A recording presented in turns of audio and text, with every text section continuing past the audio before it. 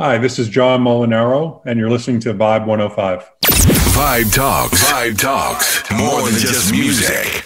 Hey, everybody, this is Giancarlo Aulino reporting for Vibe 105 with a Sports Vibe Talk segment where we're going to be talking about all things TFC and soccer. We're happy to be joined by our guest. He's uh, joining us again here. He is the head writer for TFCRepublic.ca, John Molinaro. How you doing, John?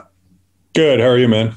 Oh, doing great. And John, this has been uh, an eventful couple weeks for you. Uh, you started off your new website. Uh, so, what factored into your decision to want to start up a new website?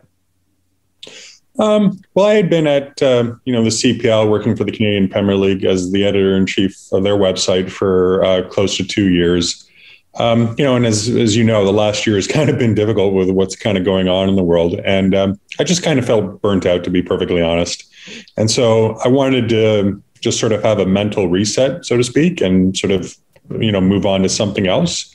And, you know, obviously before I went to the CPL, I was a TFC beat reporter for whatever it was, 13 seasons. And I always enjoyed doing it. So, um, yeah, I decided to go back to my roots and launch tfcrepublic.ca, which is, you know, dedicated to coverage of all things TFC, but also Canadian soccer in general, whether it's the men's or the women's teams or the CPL. And um, yeah, I was just wanting to try something new because I was feeling a little burnt out. And, you know, if I'm being honest, it was probably just time to move on from the CPL because I got the most out of the job that I that I could. So it was, you know, wanted to do something new. That's good to hear. And like your website too is uh, great in that it provides a hub there for TFC, like you said, uh, Canadian soccer so what came into uh, i guess your thought when you're thinking of pay scale like for a tier system uh, what came down to your decision to go with that route? Um, well i mean I, I, kind of asked around. I mean i had um, sort of other other colleagues in the past who had kind of done gone this route who ran their own sort of paid subscription site and so i got as much advice as i could from them just about in terms of you know how to do it and and what you know how you should sort of introduce it and you know and how much you should charge. So that's kind of basically how i, I kind of came up the, with the pay scale of you know eight dollars a month and fifty dollars for a year. Uh, you know i think that's you know pretty affordable and it's not asking you know too much of, of anybody who wants to subscribe. So it, it was as i said it was basically just kind of from asking around from you know one or two colleagues who had previously done this and what has been the some of the big differences you've noticed on uh, the TFC beat for when you started, and in terms of now, like in terms of the fan base, like is there more of a attention being placed on TFC, or are they still looked at as not on that level with uh, the other MLSE owned clubs? Well, yeah, I mean it'll never be on the same level as you know the, the Toronto Maple Leafs or the Toronto Raptors. Uh, that's just never going to happen. But yeah, I mean, I think you know the coverage and the interest and the fan base has grown significantly since 2007 when I started covering the team during its inaugural season. That's not to say that the the, the media scrutiny wasn't intense back then. It was, but now there's more sort of uh, you know players in the media game, uh, whether it's you know through uh, you know on both on the mainstream media side and on you know um, sort of outlets such as as your as your own. Uh, they're sort of focusing more on TFC. So I just yeah, there's been more I think there's more of a media sort of scrutiny on the team uh, now than there's ever been. Yeah. For those just joining us here on Vibe 105, we're being joined by writer at TFCRepublic.ca, John Molinaro. Uh, John, it's been a great start for Chris Armas' tenure in Toronto in terms of CONCACAF Champions League. They eliminated reigning champs in the Liga MX Club Leon. Just uh, when you look at the roster, they were kind of depleted with injuries. Uh, what did you think of their performance and what message is that sent to CONCACAF? Well, it was a, you know a great performance and a great sort of result over the two legs against Club Leon, especially when you consider you know the quality of players that Toronto FC was missing. I mean, when you consider they were without Alejandro Pozuelo, who's the reigning MLS MVP, Chris Armas, who's their you know starting center back, you know Canadian international Jonathan Osorio, um, you know, and several others, and the fact that they had to start sort of a lot of young, inexperienced players, whether it was Noble Okello or Ralph Priso in midfield, who's only 18. Um, you know, when I saw the lineup, the first leg, I just thought, oh man, they're going to be in for a rough time here down in Mexico. But you know, credit to them, they pulled out the result over the over the two legs, and they were and they were full value for it. They deservedly to beat Club Leon as they outplayed the Mexicans over the two contests. Um, you know, as far as, as what kind of message it sends across CONCACAF, um, you know, it, it, obviously says that, you know, TFC is taking this competition seriously. You know, it wants to win the Champions League. Um, I think they're going to have a much harder time of it in the next round, the quarterfinals against Cruz Azul, who are, you know, I think the top team in Liga MX standings right now. Um, and I think having, you know, watched what, you know, TFC did, you know, against their their compatriots, Club Leon, I don't think Cruz Azul are going to sort of I think that Cruz Azul would have learned the lessons from from Club Leon's performance. So they're not going to take Toronto FC lightly and they'll be fully prepared for them. And like Club Leon's performance, like, do you think they took Toronto FC lightly? Because, like you mentioned, like you look at the roster, a lot of young players that they maybe, I want to say, took uh, advantage of it and already looked on to the next couple rounds. But is this something where their performance didn't match the talent they had on paper? I think in the first leg, maybe they, you know, they certainly probably took them uh, a little bit like but definitely not in the second leg. I mean, that was pretty much, you know, the, the, their A team. So just on the day, it was you know Toronto was the better side. I mean, they outplayed and outcoached uh, um, you know Club Leon. I mean, they did a good job of of really sort of frustrating them. Um, you know, just thwarting them at every turn in midfield. I mean, Club Leon couldn't get into a rhythm. You know, TFC really sort of used their you know strategic pressing game to to sort of frustrate Club Leon for for most of the match. And I think the most important part was getting that first goal, like Patrick Mullins, because in that forced you know the Mexicans to chase it right after that. Had they scored an early game, then they would have been in control, and then Toronto would have had to kind of had it gone for it a little bit more. But I think by sort of putting uh, you know the Mexicans on the on the back foot with that Mullins goal, that really changed the landscape of the game and, and made it even more of an uphill battle for them.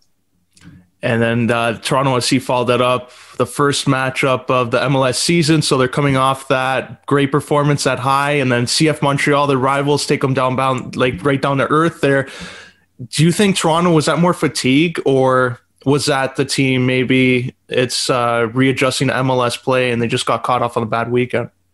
I think it's just got off on a bad week. I mean, you you know, I talked to Chris Armas and Michael Bradley after the game, and um, you know, they weren't offering any excuses. They sort of, you know, downplayed any suggestion that it was about, you know, the short, short turnaround because they did play Club Leon week. They downplayed. They were still missing some injured players. They downplayed that, you know, the heat, fatigue, whatever. They weren't sort of accepting any of that. Um, you know, full credit to Montreal. I mean, they were they were the better team on the day. They effectively dealt with with Toronto's pressing game made things really sort of uncomfortable. And I think it was just a poor start by by uh, Toronto, and they never were able to get out of first gear after that. I mean, they were down two nothing.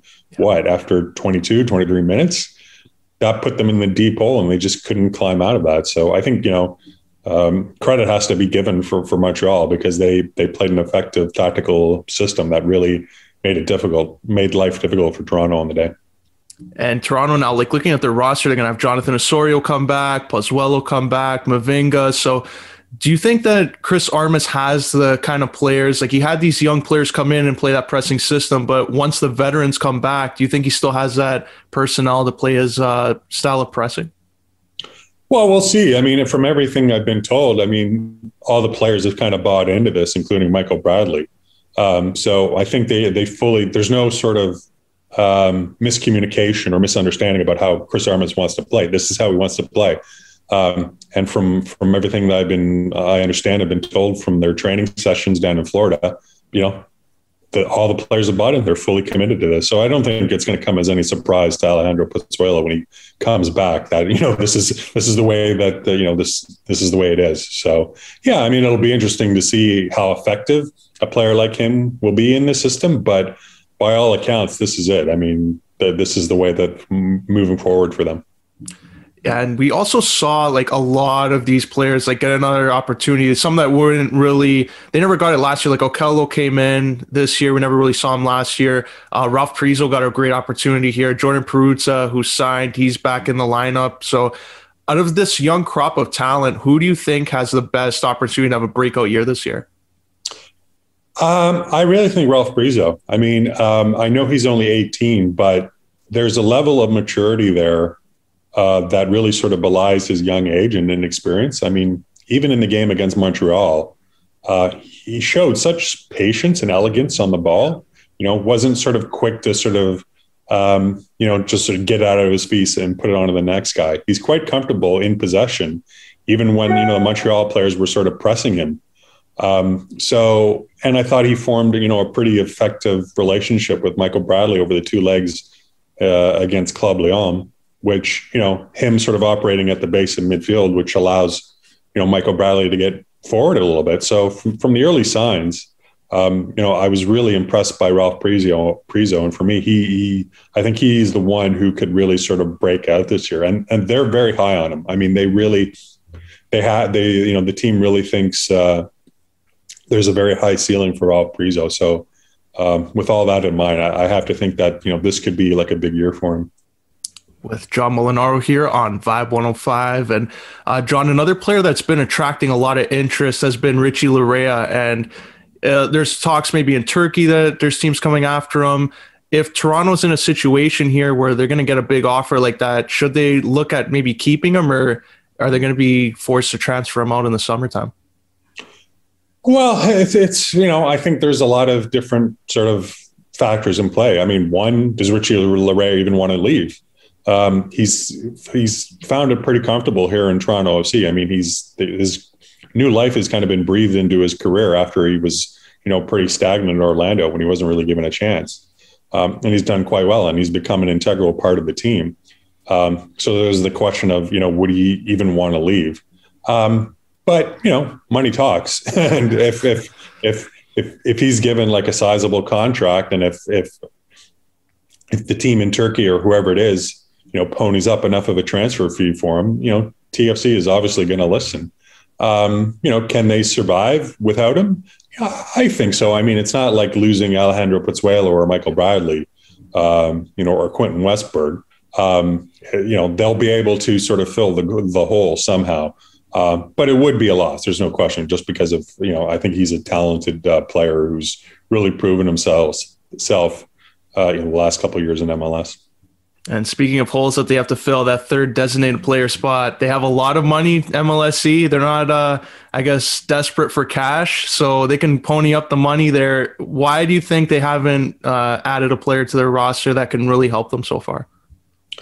Well, I, you know, it's I talk, I talked to Bill Manning about this a couple of weeks ago, and you know, he sort of explained it that you know it's difficult to sort of recruit players, especially international players you know, in the middle of a pandemic. I mean, normally they fly a player in and, you know, they show him the training ground.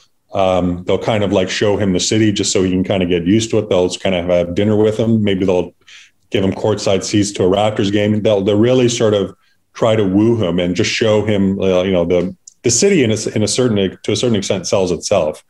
Uh, they don't have that sort of option right now because of what's going on in the world. And so that's made it increasingly difficult to sort of go out and get a designated player. When you look across the league, I mean, aside from FC Cincinnati, there hasn't really been any teams that have kind of gone out and signed like marquee designated players. It's been, you know, compared to past off seasons, it's been pretty quiet. So I think that's, you know, a major part of it. Um, you know, they are going to, you know, he said they are going to use this DP slot. It's just a matter of whether they're going to use it now or, you know, maybe more likely during the summer transfer window in, in June in, in yeah, in the summer. So um, I don't think they're going to sit on this for for much longer. They will use it. It's just a matter of when. And another thing that Toronto FC is going to be doing that Bill Manning said was the seating capacity at BMO Field going to 45,000. Is that something you think that's going to be a permanent deal for long term past the World Cup, or is it just going to be a World Cup type of move? Well, it's an interesting one. I mean, it's you know, it's you know, FIFA dictates that all World Cup stadiums have to be, I think, forty five thousand. I think is the number, something like that. So, I mean, I suspect that there's going to be some sort of permanent updates to the stadium. That they, there will be some permanent increases, but I also think a lot of that is going a lot of the increase is going to be just temporary standing. So, um, you know, that's not to say that you know, in a couple of years, TFC might not be able to fill forty five thousand on a regular basis. Um, but I think we're a bit away from that at the moment. So, uh, you know, as, as I said, I suspect a large portion of that sort of upgrade in, in the capacity is going to be from temporary seating. Yeah, uh, it's going to be interesting to see there uh, with John Molinaro here on Vibe 105. And John, over the weekend, there was some news over in Europe, and I don't know if there's a league that ever lasted only two or three days. Uh, I think the XFL lasted a lot longer, but uh, the European Super League is disbanded. It looks like already. Just what were your thoughts when you heard the news about this, and uh, just what were they planning on doing in the long run? Um, I wasn't sort of surprised that you know these clubs kind of came out with this um, this announcement because um, you know they've kind of long been there's long been threats about a you know a breakaway super super super European league. Um, you know, I, I think more, this was more of a power play. This was more of a trying to force UEFA's hand because you know they wanted a, more of a say in how you know the broadcast and digital and commercial rights for the UEFA Champions League are distributed and how they are handled. And you know they thought they had leverage because you know as the major clubs in the world they they feel that they drive you know the the majority of the profit for that tournament and they they wanted a greater say. So I think this was just a way of kind of leveraging that and you know this threat um, was just as a way to remind UEFA that you know they're the ones who who generate the profit. Um, I thought it would so so I think you know I thought it would last longer. I thought that you know this would at least play out for like a month or so. You know, I, I when it was announced, I thought you know obviously we saw the backlash, but I, I guess I just believe that you know the, the super league teams were going to sort of wait out that first week just kind of get through the first week and all the criticism and then slowly after that kind of chip away at it and try to win people over and you know it would you know and you know maybe in a month's time maybe they would convince people or maybe in a month's time they would shut it down and come to their senses um, i did think it would get shut down I, I honestly didn't think it would be in, in roughly 48 hours the fact that this house of cards fell that quickly well, was surprising because I thought it would take much longer. But you know, rightfully so. I mean, it was a ill-conceived uh, plan that shouldn't have been launched in the first place. And I guess now with all that backlash coming up, like how do you spin this from a PR perspective? Like, are these clubs' image going to be tarnished now when players are looking to a new club to join? Well, I mean, the the image of the clubs is certainly tarnished in the general sense to the general public, no doubt. I mean, you know, a lot of fans are upset about this, and rightly so. Um, you know, in terms of you know player movement, I don't think it's going to have any effect like that. I mean, um, you know, a perspective. You know, if Chelsea is looking to sign a player from Sunderland, I doubt very much um, that that player is going to say, "Well, I don't want to go to Chelsea because they were part of the, the Super League." I don't think it's going to prevent you know non-Super League teams from doing business with Super Leagues because, as I mentioned before, at the end of the day, you know, money rules. So I don't think it's going to have any sort of um, you know knockoff effects in that sense. Yeah, and like also with the Super League and teams that are around it, like Barcelona, Real Madrid. Um, were you surprised that PSG didn't throw their hat in the race there? Uh, no, because I don't think their sort of Qatari owners had much of an appetite to sort of disrupt things because they have close ties with UEFA and you know they're hosting, you know, the Qatar, Qatar is hosting the World Cup next year. So I don't think they really wanted to sort of be, you know, troublemakers and get involved in this. I don't think it was, you know, I'm sure PSG portrays it as, uh, well, this is morally wrong and we don't want to do this and we're we're standing up for it on ethical grounds. Um, you know, that's a nice piece of spin on their part. I don't think it's for that at all. I think it's just because they didn't want to sort of raise any troubles more than, you know, that they were that they believed it to be wrong. Uh, will there be sanctions? You think, like, let's say a team like Barcelona or Juventus comes up, will they end up being at like negative three to start off their group stage, or will UEFA have other sanctions in mind? You think? Uh, no, I think UEFA are going to cave on this. Um, I think they they rely too much on these teams to sort of you know be the sort of uh, profit generators of, of, the of the Champions League. I mean, if we're up to me, uh, I'd bar them from competing in European competition for a year. And I and I say that as a Juventus supporter. I would be fully on board with all these 12 teams being barred from the Champions League next year, um, or heavily fined or deducted points or something. But um, you know, UEFA, I'd be very surprised if they're going to do that. I think, as I said, they know where the bread is buttered, and they're not going to come down too hard on these teams. They're going to be welcome back into the fold as, as if none of this happened. A couple final questions here with John Molinaro here on Vibe 105. Uh, John, one of the players that's still out of a contract, Leo Messi, he's free to sign a pre-contract approval. Is this time you think it's still in Barcelona, or is this the time where Messi's going to take that Ronaldo road and maybe go for a challenge elsewhere?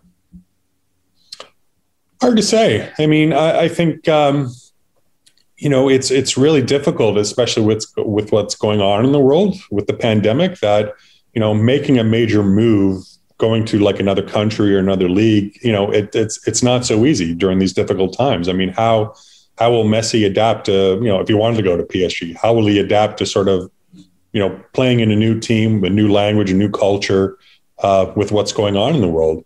Um, you know, even going to another team in Spain will would I think be a little bit of a culture shock to him. So, um, you know, it seems like the animosity between him and Barcelona that you know we were that was unearthed last summer has died down somewhat. It's still there, obviously, but you know, I suspect Barcelona is doing everything they can to retain his services. And you know, at the end of the day, I mean, I wouldn't be surprised if he leaves, but I just think he's been there so long. He has a you know a real affinity for the club, and it would, as I said, it would with what's going on in the world. I'm not sure how much of an appetite he, he would have to to up sticks and and go to another country or another team and play. And speaking of uh, being affiliated with a club, uh, final question here I'll ask you since you brought up you're a Juventus fan, I'm also a Juventus fan, and Gianluigi Buffon, he's uh, still up there in age, he still plays. Do you think he'll retire, or can we still see him go on another year? I think we can see him play on another year. I mean, you know, we saw him uh, uh, on Wednesday play against Parma. And he did quite well. I mean, he's. I mean, goalkeepers traditionally can play into their their early forties. So, I mean, Dino Zoff when he won the World Cup with Italy in 1982, he was 40. So that's not unusual. Now that said, he's pushing it now. I think he's what 43. I think. um, so you know, at some point he's going to have to shut it down. But um, you know, I, I I think if he, he certainly has, you know, I feel like another year in him, especially if he's not going to be a starter where they kind of just bring him in for the odd game to play co-hoop games or you know the odd game in the Champions League. I, I certainly think he can he can play another year. So it wouldn't surprise me at all at the end of the year he he signs like another one year extension. I'd love to see that. Uh, John, before we wrap up here, how can our listeners follow you on social media? Uh, if they just go to uh, John Molinaro at uh, Twitter, just all one word, uh, they can find me there. And uh, they can find my work at T- TFC Republic, which is tfcrepublic.ca, which is my new site, and very reasonable subscription rates for um, at eight dollars a month and fifty dollars a year. It's not just coverage of TFC; it's for all of Canadian soccer. So uh, fans can check out my work that way too. Highly recommend that. Uh, John, I'd like to thank you for sharing your time and coming on here on Vibe 105 to talk all things soccer, and I wish you all the best. Thanks, man. That was John Molinaro of TFCRepublic.ca. Now we're going to send it back to the studio for more programming right here on Vibe 105.